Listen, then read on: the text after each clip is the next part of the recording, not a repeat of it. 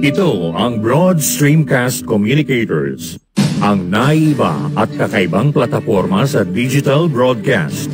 Mula Luzon, Visayas, Mindanao hanggang sa iba't ibang dako ng mundo.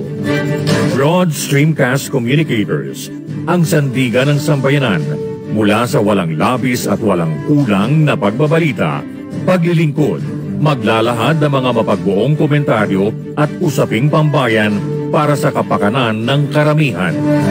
Broad Streamcast Communicators, tuwirang maglilingkod ngayon hanggang sa susunod na henerasyon.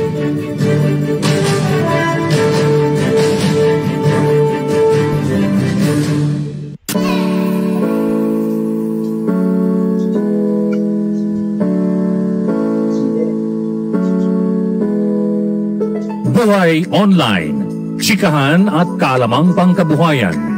Ating tunghayan, pakinggan at tuklasin ang mga pangyayari at kaganapan sa mundo ng online. Buhay Online, Chikahan at Kaalamang Pangkabuhayan. Alamin ang pinaka-latest trends mula sa trabaho at kung hanggang saan na ang narating ng teknolohiyang ito. At ngayon, narito na ang ating host, ang ating Techie Mami, si J.C. Bautista.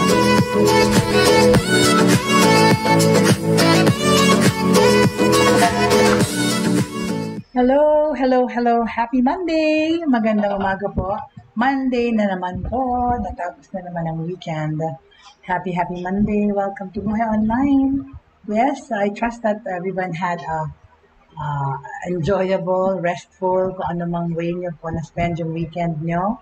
Uh, ako po, I had a good weekend. A very, very, uh, mas, uh, I should say, relaxing weekend.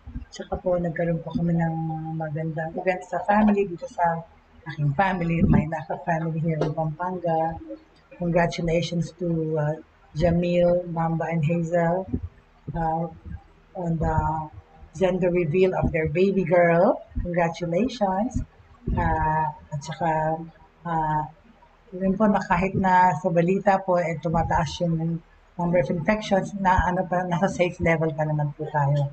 According to the World Health Organization, we're still below 5% nung uh, alert level. So, patuloy pa rin po tayong mag, mag-wear ng masks when we have to go out, especially to public places and keep social distancing because ano po eh, uh,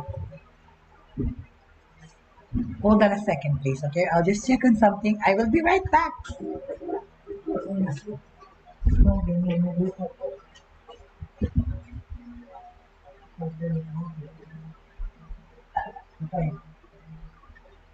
Sorry, sorry, sorry. Sorry po, alam niyo po naman ako all around. I actually, I'm, I'm cooking pang, pang ano, toka sa lunch today. but anyway, I'm making shabu-shabu. We have shabu-shabu for lunch. Seafood na seafood shabu-shabu. And then also, panay seafood kami. Tsaka I, I made chili, uh, prawn, prawn chili, uh, chili prawns, garlic prawn shrimps. No? Ano ba yan? Garlic prawns. Gar chili garlic prawns. Um, po ang ginawa ko. Cooked in aligi. Diba? Deadly. I made chili garlic prawns in um, crab fat. Aligi, right? Anyway, so first order of the day, uh, news from, coming from ano po uh, United States President Joseph Biden po has an open invitation for President Ferdinand Bongbong Marcos Jr. to visit uh, the White House. So ito po sinabi ni Philippine Ambassador to the U.S. Jose Manuel Romualdez sa kahapon, no? Romualdez confirmed in an interview that in a letter written by Biden to Marcos, the former has extended an invitation to Marcos and his family to come to Washington. The ambassador said the invitation was relayed by Biden through U.S. Second Gentleman Douglas M. Emhoff, Biden's special envoy, during Marcos's inauguration of the 17th Philippine pres- as, Philip, as 17th Philippine president last June 30. Sinabi po ni Emhoff, siya po ay nagdala ng personal letter written by President Biden to President Marcos. In that letter, uh, sinabi po that he congratulated the new president and at least he hopes to speak to him again by phone sometime soon, but also invited him to come to Washington. Romualdez said uh, in an open interview on One News. So it's really an open invitation for President Marcos to come to the White House. Romualdez, who was tapped by Marcos to remain as the Philippine ambassador to the U.S., okay, uh, under this term, said that the president wants to check domestic issues first before embarking on a trip to the U.S. Of course, I asked him how soon would he like to go because I'd like to see you there as soon as possible. He said that let me just look at the domestic problems first and see the things before we start taking up traveling. Romualdez said. The Filipino diplomat also said that there will be no problem if Marcos visits the U.S., citing his full diplomatic immunity, which the U.S. also assured shortly after Marcos won the elections. A head of state has full diplomatic immunity. There will be no problem whatsoever, sabi to ni Romualdez, no? He also revealed that Marcos is also looking into visiting other ASEAN countries, which is also part of the diplomatic efforts to introduce him formally to many of those important allies, but visiting the U.S. is very much in the radar. The United States is very much in the radar and and it's very and the United States is very eager to have President Marcos come to the United States. During the visit of U.S. Deputy Secretary of State Wendy Sherman in the Philippines last month, she addressed the issue saying that uh, despite the contempt order against Marcos, which prevented him from traveling to a foreign country for years, the president has immunity and circumstance and is welcome to the United States uh, in his official role. Okay? Uh, okay? So there you go about that. All right. Uh, uh, on another note, okay, yun po, yung Omicron virus nagsispread, meron tayong pinag-uusapan naman na UK monkeypox. Ito, pag-usapan natin itong mga virus situation, COVID, hindi to COVID pa. Pag-usapan natin yung monkeypox na yan. Every time I look at this, nakinangate ko. Kasi parang chicken pox to, imbis na chicken pox, monkey pox. Nay, oh, nakakakate, look at the picture. Oh my gosh. I'm cringing, nangangate ko. Okay? In this file, photo taken to uh, June, to last June 2022, ito po made available by the UK Health Security Agency. It shows a collage of monkeypox rash lesions at an undisclosed date and location. As the lone laboratory manufacturing a licensed vaccine against monkeypox, okay, yan po ang itsura British monkeypox patients are exhibiting symptoms that differ from previous outbreaks. The first study examining UK cases said on Friday, leading researchers nangangateko to look at it, to call for the definition of the disease to be updated. I'm sorry. Ako po yung nangangateg. Just looking at that picture. Until a few months ago, monkeypox has been largely confined to West and Central Africa, where new outbreaks were mostly caused by humans being infected with the virus by animals like rodents, mga daga. But since May, more than 3,400 cases have been recorded worldwide. The large majority of them in Western Europe. O please, huwag yan spread naman sa Asia. Among men who have sex with men. Oh my God. Yeah. spread and have no known links to the sub-Saharan African cases. Britain detected some of the earliest new global cases, and the first study into patients there was published in the Lancet Infectious Diseases Journal on Friday. The researchers analyzed 54 monkeypox patients in London, all men who have sex with men, who represented 60% of UK cases as of May 26. Ano ba yun? Ano masasabi, malaki ang gay population? Ganun ba yun? All but two were unaware they had been in contact with someone who had monkeypox. A quarter of the men were HIV positive, and a quarter had sexually transmitted disease while they had monkeypox. All patients had skin lesions, of which 94% were in the genital and anal areas. Oh my lord. Pag kumakain po kayo pasintabi, I'm so sorry, excuse me. Okay? These factors suggest that the virus is being transmitted uh, transmitted during skin-to-skin contact as during sex. The World Health Organization is investigating cases of semen testing positive for monkeypox, but has maintained that the virus is not sexually transmitted and is primarily spread through close contact. So, eh, ano nga? Only 57% of the UK cases suffered fevers compared to 85 to 100% of cases in outbreaks before this year. Previous outbreaks also saw for more lesions on limbs, faces, and necks. However, in three quarters of the UK cases, lesions were only one or two areas, mostly around the genital area.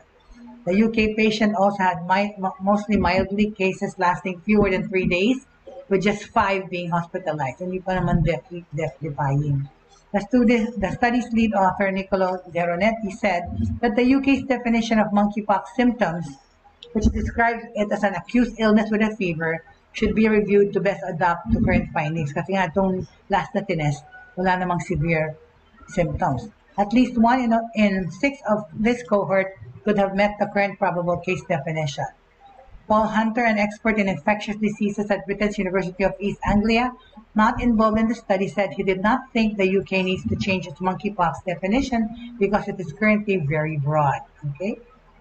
So any new skin rash in a man who has sex with men should prompt consideration for monkeypox testing in the current climate. So, uh, hindi naman pala to ano to aka, aka, ano parang COVID, sexually transmitted diseases ito or STD, right?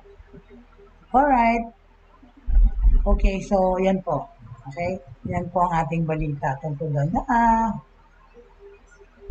Uh, so, we're now gonna talk about, ito po, traveling naman, no? Matagal na itong news ko na to, last week ko pa gusto sabihin. It's so, it's so funny, okay? These, here are, I want to share, okay? 20 secrets that flight attendants in the airlines don't want you to know, di ba? Kasi may, nag, may nagpadala sa akin to ng itong uh, kaalaman na to na gusto ko i-share sa inyo kasi it's really interesting and funny. But let me just get it first. Tanggalin ko na to please dahil uh, it's disturbing. So tayo matanggal. Okay, all right. So let's talk about yeah, this travel. 20 secrets of flight attendants that airline uh, flight attendants don't want probably don't want to know. Okay, let's let's find out what this is about. Okay, flight attendants may give you service with a smile. But it can be a very different story once they're out of sight of passengers. Hala. Perhaps it's because the mga cabin crew uh, know many things we don't, right? Just like how filthy the seats are, for example. That's one shocking secret, but insiders have spilled many more. By the time you read what they have to say, you might want to take a trip using the bus or the train.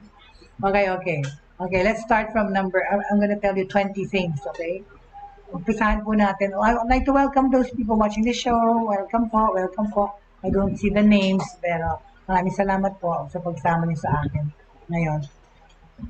Okay, let's start from number 20. Okay, I, again, what I'm talking uh, to you about is secrets flight attendants that airline secrets from flight attendants that airlines probably don't want you to know. Okay, so ito pong in, some flight attendants spilled the beans. Amoy sigarilyo? Hmm, yun na naman. Hi. Talaga, next week I'm gonna feature something about ano, cancer and cigarettes. Para ma- mag- magpaalala sa mga ano na yan. Ah, kakatawa because uh, there's a, a bit of ano lang, sideline na news. No? In, in Japan, they're going, yung mga cigarette companies, they're going to put daw uh, on each cigarette a sign that says parang ganun yung uh, poison, cigarette is poison, something. They're gonna put uh, mga letras about cigarillo to remind people how dangerous it is cigarettes. Pero tingnan natin kung effective yan. Diba kasi ngayon yung mga box ng cigarillo may mga pictures about cancer.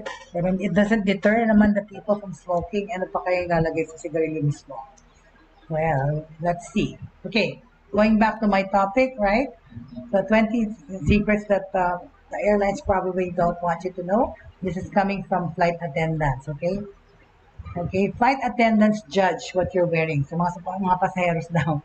Sina-judge daw ng mga flight attendants na ang uh, pasahero. For example, don't put uh, on your go-to travel t-shirt and sweatpants. even if you're on a long haul journey. Eh, that most people do. Ako, America to the uh, to the States, di ba? Ano?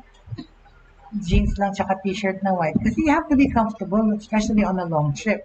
So baka sinasabi ito, don't go put on your travel t-shirt and sweatpants.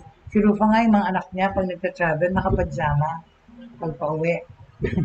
Kasi natutulog naman doon ng 16-hour flight, right? Tsaka susundin naman ang kotse. I mean, who cares, right? So, well, anyway, itong sinasabi dito, don't put on your go-to-travel t-shirt and sweatpants, even if you're on a long-haul journey. Why? Well, this kind of relaxed attire may cost you when it comes to customer service. Yep, one flight attendant claims that the way you, you you're treated on a plane may depend on how good you look. Ah, judgmental. Judgmental to ng mga ng mga ano, flight attendant. Feeling nila pu- pulubi ka porque nakaganon ka itsura. So, hindi ka masyadong treat like a VIP. Ay, masama naman yon Okay? Alright? Next. Kasi no, in her book, The Do's and Don'ts of Flying, A Flight Attendant's Guide to Travel Secrets, Stephanie Rivers wrote, I first noticed how passengers are dressed. Some people dress as if they made an effort uh, to put forth a positive impression.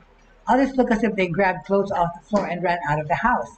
And she goes to admit that one crew more likely to be uh, is, to, is to be nicer daw and to smarter looking people. That makes sense, but that doesn't seem to be fair. Hindi talaga fair at all. Kasi nga, ang, kung ikaw naman yung pasahero, nagbayad ka ng mahal na fare, wala kang pakialam kung business class ka or not, gusto ko magbihis the way I want to, to bihis, di ba? The way I'm comfortable in a 16-hour flight. Hello. Walang naman, pakialam naman itong mga flight attendant na to sa itsura ng damit, right? Judgmental nga. Okay, so that's number 20. Uh, 19. The call bell on, can be their nemesis, meaning enemy. Nemesis means enemy. The call bell can be their nemesis. Yung, yung ilaw button na pag ino-order mo, ino-order, tinatawag mo yung flight attendant. Okay, that call bell, right? Pretty handy when you're up in the air, but spare a thought for your flight attendant. Before you order that fourth whiskey o yung club soda mo, at the very least, don't press the bell repeatedly. O yan, ayaw na lang pinipindot-pindot pa ulit-ulit yung nakailaw. It's this sense of entitlement that can enrage the poor staff member. They tasked with catering for flyers everywhere. So, wag kayong makulit na sa pag-order ng ilaw, pag, ng call bell na yon o yung ilaw button. Pagka gin, inon nyo yan, siguraduhin yung sabihin nyo yung kailangan nyo, tapos patayin nyo. Kasi parang nairita sila pag nakailaw palagi. Pero, trabaho naman nila yun dapat, no, when you think about it. Well, okay? Sabi ni River sa book niya, my, my biggest pet peeve is when people are too needy. The ones who act as if they need their own chartered plane because everything is all about them. They want instantaneous service despite the fact that there are 100 people on board the aircraft. O so nairita sila sa utos ng utos, di ba, sa airplane. Sino naman hindi na mairita sa ganun? Pero kasi talaga, yung mga ibang pasahero, kukulit talaga, paulit-ulit. Imbes sabihin na lang in one breath ang kailangan, pa iba-iba pa. Yun ang nakakainis, right? Okay, number 18. You really do need to turn off your electronics. Okay, well, kasi di ba, pinapahayaan naman mag-tablet, mag-laptop, kasi minsan may ginagawa kong trabaho. Bakit naman?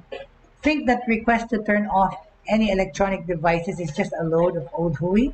Think again. It really does help ensure the safety of everyone on board. Ah, and in her revealing book, itong si Joan Rivers na flight attendant said, she blew apart the theory that the whole electronic interference claim is just a myth. Totoo naman pala nag-interfere. Communication between air traffic control and the cockpit can be interrupted due to electronics. So, hindi naman pala yung fake news. Not just from one person, from a joint effort of all the electronics passengers have. It matters a great deal that passengers, okay, should place electronics in airplane mode during taxiing. Oo nga, pag uma- maandar pa lang yung aeroplano, dapat naka-airplane mode yung phone nyo. But during taxi, take-off, and landing. Kasi yung safety ng pasahero is at stake. mag interfere talaga yung signals ng cellphone nyo, ng kung ano. Kaya dapat naka-airplane mode kayo. Yung laptop nyo, kung magte-take off and landing, right? Okay, and it's all, all for our own good, okay? So, kung dito, so totoo yun na dapat patayin niyo muna pag magla-landing na o aalis. Okay? Uh, number 17, plain food isn't good for the diet. so, sabi nila, okay? Turns out pala that plain food isn't just, well, a little tasteless, tasteless pero unhealthy daw. Sabi to ng mga stewardess. Apparently, hindi naman yan totoo because may nutritionist pa nga hinahire ang palagaya ng Philippine Airlines, may nutritionist sila to plan the food. So, yung sinasabi nitong mga flight attendant na to, apparently it's also rather unhealthy, sabi nila. That's according to Reddit poster who claims to be a flight attendant. The person in question claimed, even in training, we are told that airplane meals are nutritionally useless because of the salt, sugar, fat, and simple carb content. That's not true because airlines hire their in-house nutritionists to plan the food. So, hindi naman, hindi naman. Okay? Next, prefab container homes. But if you think that's bad, then wait until you hear about the drink situation. Ayan nga. Ayan naman talaga. Aminin ko, minsan abusado yung mga pasaheros hingi ng hingi ng drinks. Eh, pero kasi naman sa first class, unlimited drinks sila, ano pa, alcohol and beverage, alcoholic beverage and non-alcoholic. Kaya sa economy naman, makakahingi ka ng water, ganyan, pero, uh, well, you can still ask for for drinks anyway, pag, pagkadaan ng card kung kailangan mo, ikaw na nalapit doon. Right? So, uh, in the same uh, Reddit thread, a person claiming to be a pilot naman commented, Don't drink the coffee. The water comes from the onboard system that has the fill port right next to the port of laboratories are drained from. Ew! The water system routinely fails. Okay? Diyos naman yan. Don't drink the coffee. Kasi yung pinagkukuha ng tubig, yung katabi ng laboratory. Totoo ba yan? Baka naman hindi. Okay. Next, number 16. Avoid the chat-up line. Ano ibig sabihin? No, the flight attendant's beaming smile and polite customer service isn't an excuse to hit on them. Yun nga, yung, uh, yung masyadong friendly, chika-chika may mga press ko minsan sa aeroplano.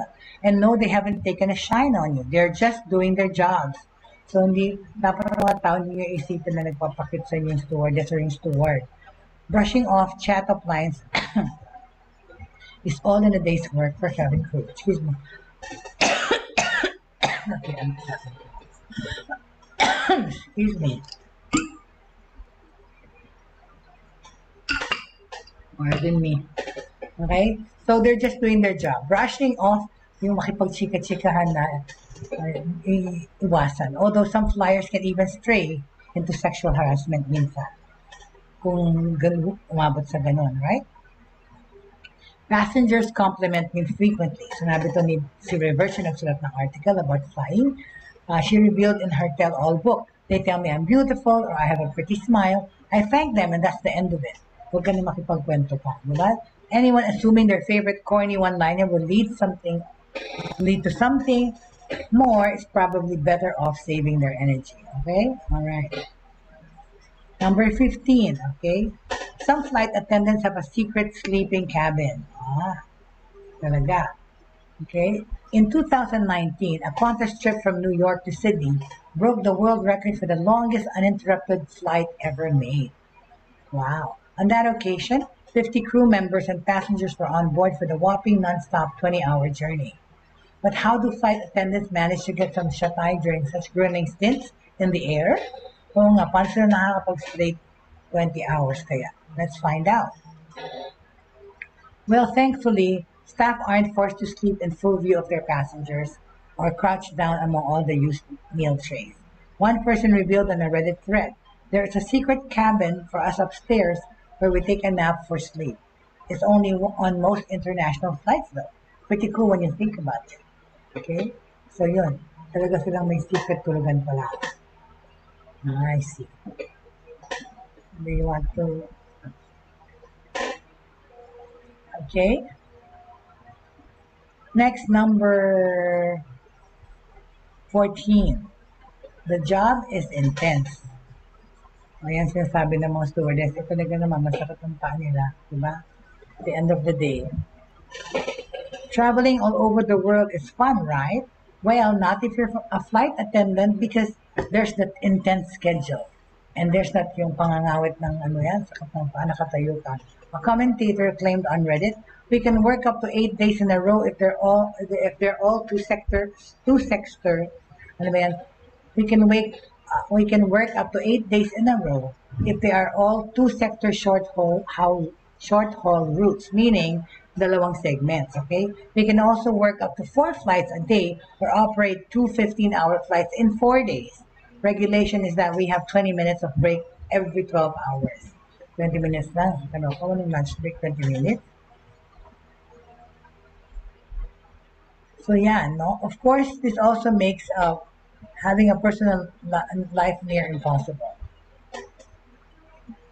Sandali ah.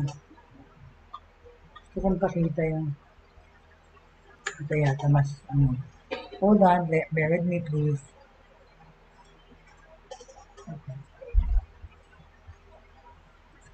Glass the picture. There, oh, there's the typical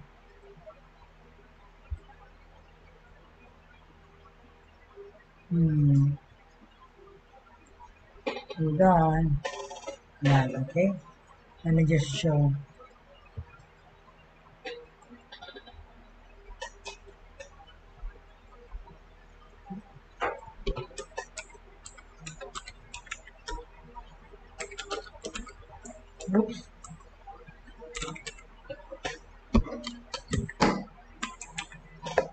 Okay, hold on.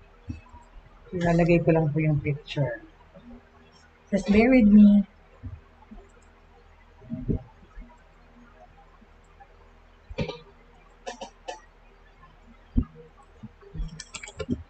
There, got it.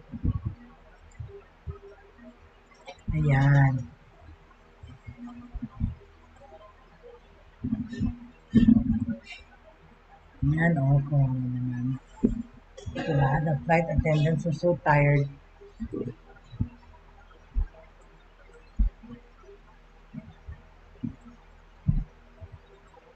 Ay. Sorry.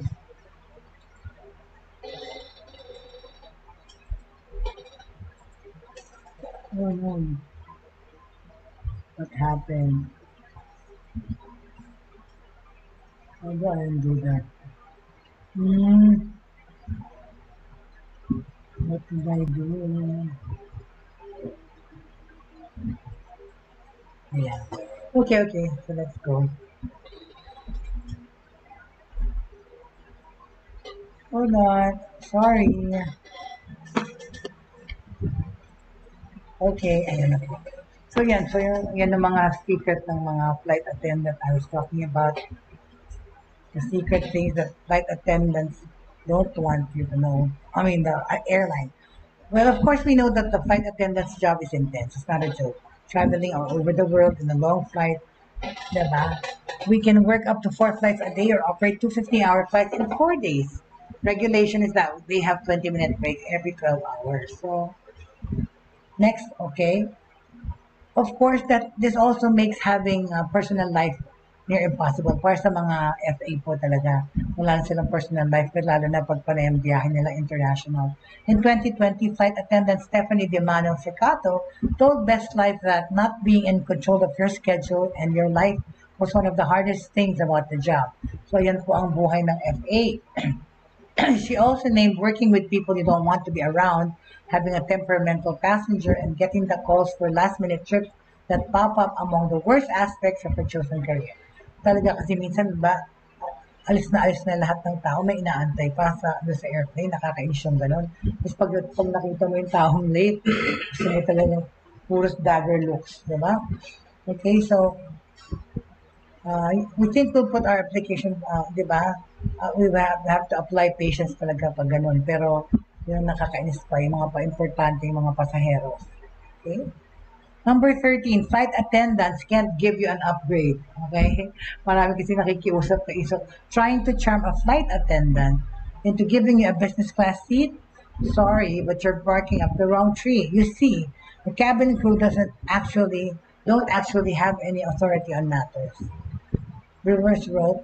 I'm not the person who makes the decision to upgrade someone. That's the gate agent and other determining factors. Well, so, ano yan talaga? Kasi yung mga iba talaga, di ba, nagpapagudi-gudi to shoot, nakikiusap, lalo na kung yung celebrity or sila, mo pwedeng i-upgrade. Well, not really. I think, you know, I've, I've experienced being upgraded to first, to first class or to business class kasi because of the inconvenience of minsan yung faulty na, na, na silya. Okay? Nakaupo na ako noon, Philippine Airlines flight, and hindi mo ma-recline yung seat. Eh, 16-hour flight yun. Parang, parang ano naman talaga, inconvenient. So, I got an upgrade kasi meron maluwang pa rin sa business class, nalipat ako, yay! So, those things can happen, alright? Well, but sinabi pa rin ni Rivers that does, uh, uh, she offered the advice that on, on paano niya mawuwo yung mga employees on the ground instead. Rivers does offer some good advice on wooing employees on the ground, mga ground, ground attendants. And yet again, it's all to do making a great first impression. Uh, she says that I would guess that someone who dresses professionally is more likely to get upgraded than someone who has jeans and sneakers. Totoo naman nga, kasi appearances masyadong ano, excited sila sa appearances. Di na alam yung naka t-shirt na butas pa nga dun, saka jeans na butas, butas billionaire. Nag-incognito lang siya, sumasakay siya ng ganun. Maka-economy eh, pa. Well, that's how to test people also. I think. So next, if a flight attendant has gone above and beyond for you during a journey, okay, kung sa lahat na sinamahan ka, you may want to show your appreciation, okay? Keep any change or notes that you have in your pocket though, as most airlines don't allow their cabin crew to take tips from passengers. Okay? So ano kaya yun? Kasi siguro yung ano nila, pooled yung kanilang resources, no? Iniipon yung mga tip, ganun ba yun? So, there's always a better way to give your thanks if you want to praise the guy or gal who served you. Yes, and I think mas mabuti pasulatan yung airline. Alamin nyo lang yung name ng gusto mong bigyan ng treat, no? Uh, kasi you want to show your appreciation, okay? So keep any change or notes that you have in your pocket, though as most airlines don't allow their cabin crew to take tips from passengers, okay, you know, there's another way naman to do that. Doon mo na lang mismo abot sa airplane. Secret na lang kaya. Again, in her book, si Rivers wrote, if your experience, okay, was so great that you want to tip, please take the time to write a complimentary letter to the airline about the flight attendant and your experience. That can be more valuable to members of uh, the staff than a crumpled dollar bill. Uh, and explain the Rivers that companies have incentive programs that employees qualify for when they are singled out for giving great customer service. So, yun. So, Alright? Flight attendants, grooming requirements are more relaxed. Okay? Ang ibig sabihin, that air of glamour that still surrounds flight attendants, well, it may have something to do with their appearance. Back in the day, you see these women, and they were very pretty much very pretty much all women, usually had to meet extremely strict grooming guidelines. It's true that the employees were judged negatively for their for their weight or age. Okay. So thankfully, that kind of discrimination is no longer valid. Okay, no longer allowed. But but the way you look uh, is still deemed important by most major airlines. Rivers wrote during flight attendant wearing uh, there is emphasis put on appearance and professional presentation. Some flight attendants try harder than others. It's true. Some are ano, too excited or too, they get too involved. I think so. Number 10, planes, oh my God, this is shocking. Planes aren't as clean as you think. Bakit? No? Kasi, the inside of a plane may be scrubbed from top to bottom after each flight. But those that those cleanliness those cleanliness levels drop dramatically the moment the first passenger steps on board. For that reason, then one commenter, uh, commenter on Reddit asked people traveling in the air to avoid walking about and without any shoes or socks on. And if you're still not convinced, you should really, really read what they have to say. Okay? So, was that the last one? I know pala there's 20 things. Pee and poop happens all over. Yan, nyo, mga nanay.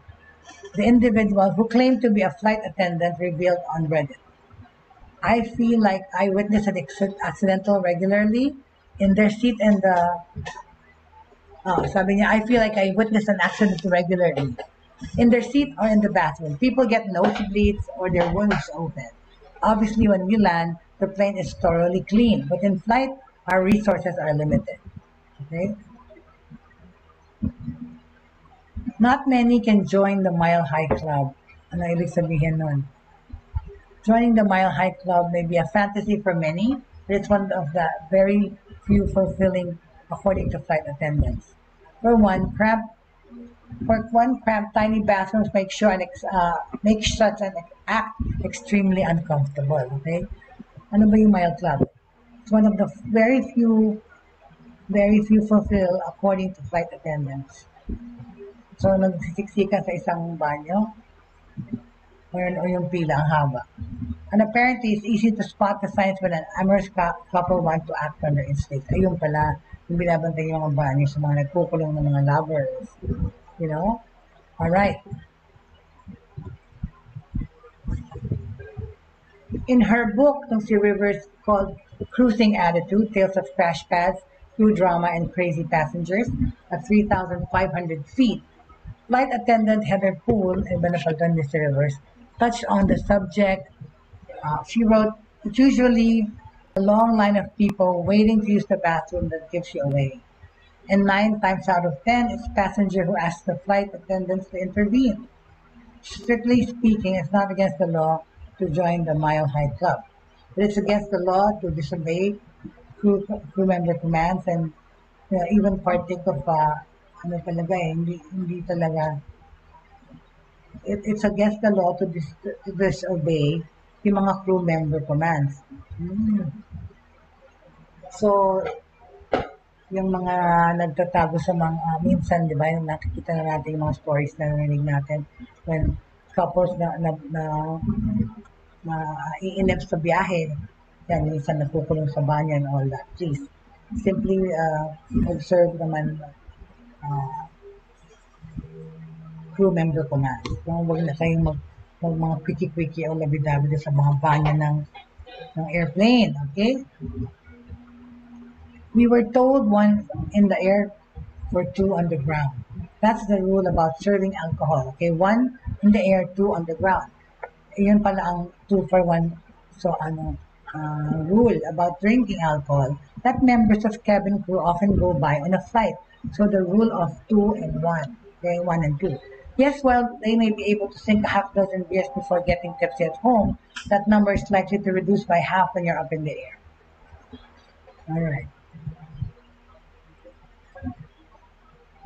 Kasi iba talaga, may meron ka talaga pasahero, hingi ng hingi ng ng alak, hingi na hingi ng wine, okay? Yan sa first class, no? And the flight attendant, tandaan niyo po, the flight attendant serving you alcohol would actually be breaking the law if you ended up drunk. A, comment, a commenter revealed on the Reddit, Reddit thread, it is illegal to be intoxicated on a plane. And it is illegal for us to get you drunk. Sabihin niya ng, yan ang line dapat ng stewardess na, na dapat sila marunong mag-control na, na kung hindi na tama. Right? Done. It is getting so hot in here.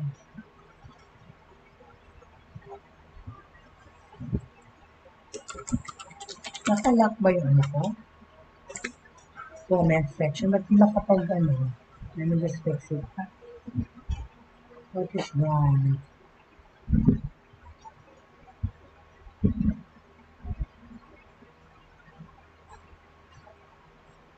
Okay naman.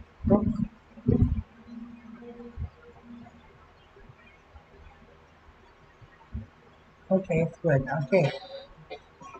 So where were we? Okay.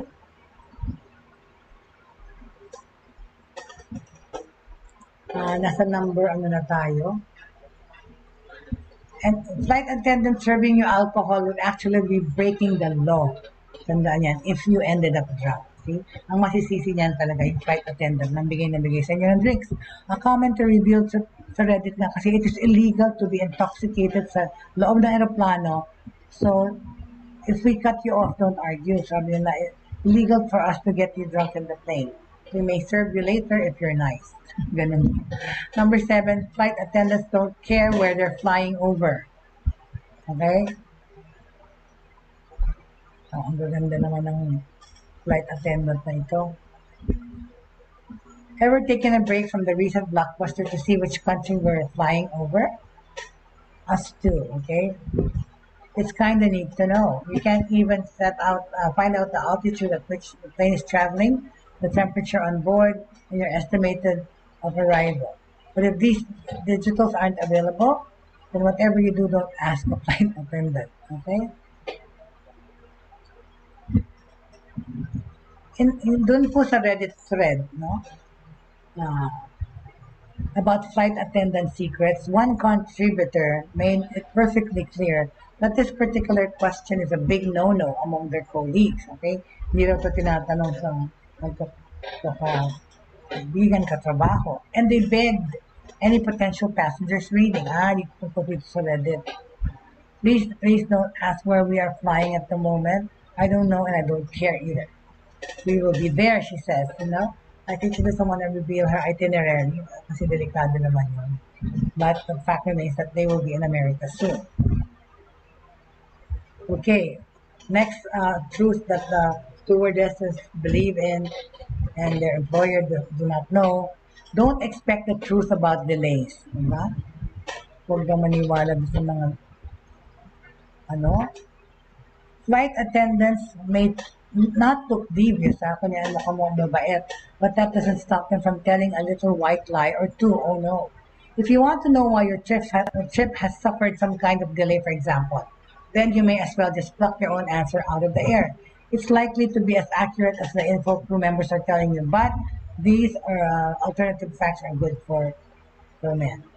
Uh, I, get, I, I would, uh, these alternative facts are being given to you for a reason na para malaman nyo. Hindi naman tayo, kung ayaw niyang maniwala is okay, but it's just parang uh, guideline to tell you kung ano yung mga ano, contention ng mga flight attendant at kung paano yung sila tratuhin din. No? Okay? On the Reddit thread, one person revealed, when people ask for the reason for a delay, we usually give them bullcrap. Oh, kasi nangalingan lang talaga sinasabi. Because the real answer would would spook the passengers. So, matatakot kasi. So, sugarcoat nila ngayon yung situation. No? We may have a minor technical problem and engineers are on their way. But in reality, the cabin pressure isn't working. And that's so scary. Diba? Cabin pressure. Lalo pa rin sa pandemya. Pero ako, nagkaroon na nga na experience before. Sorry, sorry, school specific. But my friends, my girlfriends and I, we planned a trip to uh, Vietnam. Gina, ginuha namin yung um, airfare plus ano, Metro deal yun eh. Airfare, hindi pala, hindi, booking.com yun eh. Basta airfare plus, uh, basta, ito, naka, naka-sale yung tickets noon. And there were 11 of us and we went to to Vietnam. Nakakatawa because siguro ilang minutes na lang before landing, biglang grabe yung turbulence. As in, sobrang grabing turbulence. And I've been traveling all my life that was the worst turbulence I felt. Akala ko magka-crash na yung airplane. As in, na sobrang nagigewang-gewang, tsaka nag-shake na yung buong plane. Ang nakakatawa nun, nangyayari yun, but nobody was saying anything. No announcement on the, on the, di ba, on the loudspeaker. Walang stewardess na nagsasabi nito, calm down. Wala. Talagang, feeling ko, bagsak na talaga na nagdasal na kami na nagdasal. Then after that, nung nag-landing na, saka lang sinabi namin parang ng turbulence ko. Nakakaloka yun. Because, of course, maybe they're, they're, they're afraid to say something na makakatakot sa tao. Pero, yung not saying also anything, nakakatakot din yun, right? It gives you a lot of misgivings. Tapos, ito pang sabi ng stewardesses, ah, they'll never use most of their training. Kung Oo, kasi hindi naman lahat ng aeroplano nagka-crash para mag-swimming-swimming ka na training. It can take anywhere from 3 to 6 weeks for flight attendants to train for the job. Not that long, all things considered, but should it even be shorter? You see, flight attendants will never put the majority of the things they learn into practice or theory. And bakit? Siyempre naman nga kasi dahil hindi nangyayari, right? Uh, one person used numbers to explain just how little this information will be needed in real life. Sinabi nila 98% of the training daw ng mga FA is for the 0.1% of our job that we hope to never use. We've never trained to fight fires. We, we were trained to fight fires, treat medical emergencies, o nangyayari yan, no? evacuate a plane in record time, and much more. Tsaka yung pagsiswim. It's good to know they're ready. Diba? Mabuting alam na bakit minsan nagkakaroon talaga ng medical emergency, may hinihimat tayo or na-atake sa airplane. Marunong ka dapat mag-CPR. So that comes with the territory. Okay? Number four, they pretend to change the temperature. Yun daw, inaayos daw ng, kunyari inaayos yung aircon ganyan. Flight attendants must put on their best poker faces whenever chilly passengers ask them to increase the cabin pressure pag giniginaw yung pasahero. And while they may say, yes, sure, right away, tapos kunyari daw, inaayos-ayos yung aircon. Asahan niyo, wala namang ginagawa. Hindi na yung tinat. Kasi, ano yun eh, centralized. Hindi nila pwedeng pa, painitin sa harap mo. Patayin mo na lang yung vent mo. Yun na lang ginagawa ko eh. Pag ginawin ako masyado malamig, I just turn off that, uh, that little window there. Yeah? Pero kasi nga daw, when, when the passenger, when the FAs are pretending, kunyari, irregularize yung temperature, wala namang temperature yung bintana ng aircon mo eh. So, hindi nila yung gagawin daw. Crew have no intention of making the plane warmer and you'll be grossed out when you hear why. One contributor explained na when you ask us to change the temperature, we pretend to do it. Planes are generally colder because if we hit turbulence, tama, warm temperature will make the chances of someone puking much higher. Diba? So have an extra layer of clothing handy kung masukahin kayo. No? Human trains may be on board. What is that? Ay, human remains may be on board of growth. At totoo naman talaga, may mga lumilipad namin kasamang patay. Oh, hindi na yung kailangan secret. Alam naman natin just don't know kung tayo sa ating flight. If you see a white box being transported into a plane's luggage holding, then chances are there's a cadaver inside. That's recording according to one commenter, commenter on Reddit. And such a sight is more common than you'd think, too. Apparently, the average pilot flies around eight dead people every year. You're nakakilabot to think, right? But that's true. Okay. Ano pa? Try to avoid seats near the bathroom. Ah. Diba? Try to avoid seats near the bathroom because there's one perk of getting placed near the bathroom. Siyempre, yung mga ibang tayo ng tayo, gusto nila malapit sila sa banyo. You never have to stray too far if you get caught short. But, the, the cons far outweigh the pros. Pagka kang tapat ka ng banyo or tabi ng banyo, unang-una mo, may banyo. For starters, you may have to deal with seemingly never-ending line of people. Totoo. Nakalinya around you. So, pag malapit ka sa banyo, nakatayo sila lahat sa harap mo. E ngayon pang COVID, di ba? Social distancing nga uh, uh, throughout the entire journey yan, okay? Then, of course, there's the near constant sound of the toilet flushing. But the grossest drawback of all relates to bathroom maintenance. A Redditor claimed, for example, when the toilet breaks down, the mechanics put all the toilet parts on those seats. Ugh.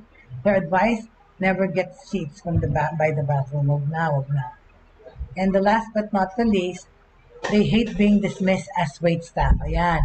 Huwag yung tratuhin mga maid yung mga FA or, or utusan nyo. Flight attendants can go through an incredibly intense training schedule. Isipin nyo na ang mga flight attendants na yan ay nagdaan sa training before being allowed on board. Someone claiming to be a member of cabin crew wrote also, if you score less than 90% on a written test, you are sent home. Tamo? Ang taas ng grade. My five weeks I spent at FA training were more difficult than the four years I spent getting my bachelor's degree. Also, extensive ang training ng mga stewardess. So, huwag nyo silang i, i, i treat like wait staff.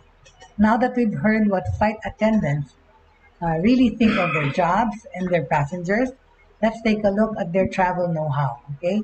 As we've already learned, cabin crews jam-packed schedules mean that they're at the airport a lot. Many even rack up an average of 30,000 flight miles each month. So it's fair to say they certainly know how to fly, and here are 40 of their best kept tips. Mamaya na. Tutuloy na lang natin yan bukas at napakadami pa kasi, okay? Yung pag-uusapan naman yung mga tip pa sa traveling, okay? We will continue that tomorrow because, ayan, we have reached the end of our line. Napakabilis kasi ng panahon eh. Anyway, so, for uh, for those who want to watch previous episodes po, we are on Facebook, ah, we are on YouTube, sorry, the Broad Streamcast Communicators YouTube channel. wherein you can uh, watch past episodes kung na miss nyo. And of course, pag uh, nakapunta na kayo doon, like and subscribe po our page, please.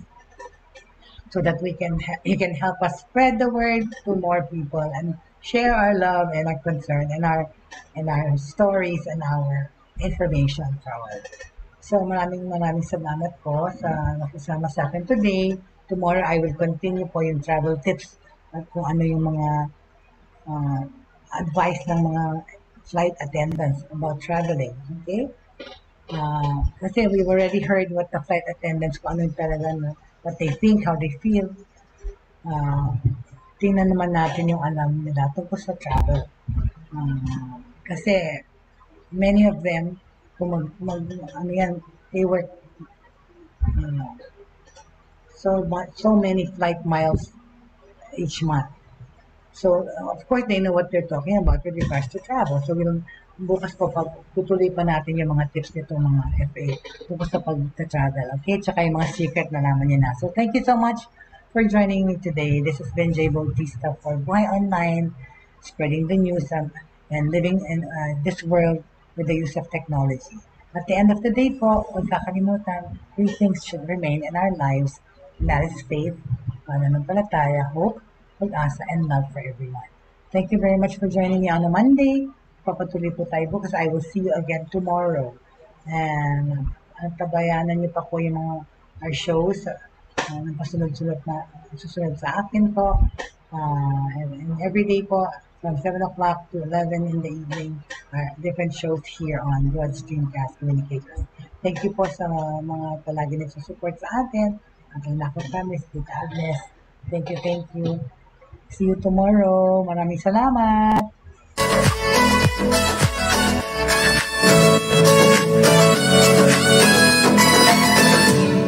Inyong natunghayan at napakinggan ang mga makabagong pamamaraan sa mundo ng online sa pamamagitan pa rin ng Broad Streamcast Communicators. Hanggang sa muli, maraming salamat po.